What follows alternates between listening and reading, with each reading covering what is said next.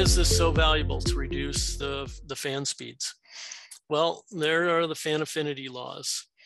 And what they show us is that the fan speed is proportional to the flow rate.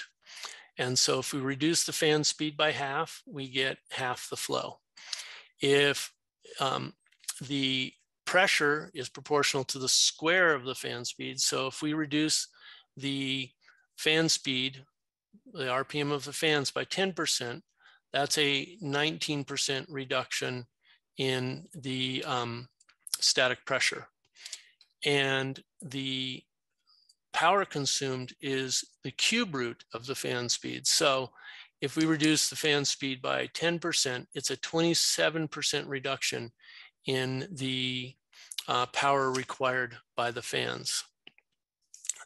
So uh, how this plays out is if we have a computer room with 10 30 ton units, 105 kilowatts, by the way, and I really encourage everyone to consider cooling units uh, capacities in terms of kilowatts and not tons, because uh, it's much easier to compare apples to apples by looking at kilowatts.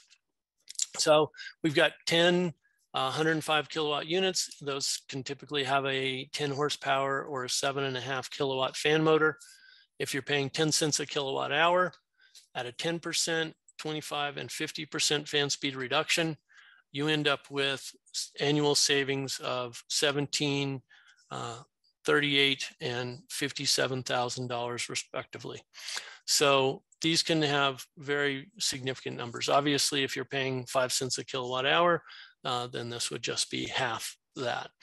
Um, or twice the number of cooling units, then it's twice this. So very easy math uh, for you to do. And we're happy to provide this presentation to anybody that would like it um, to uh, look at these numbers.